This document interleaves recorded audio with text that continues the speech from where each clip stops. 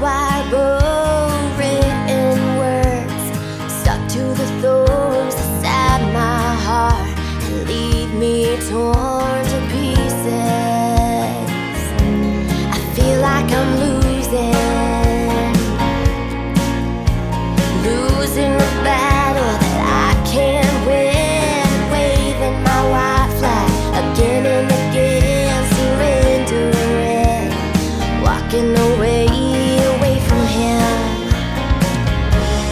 Cause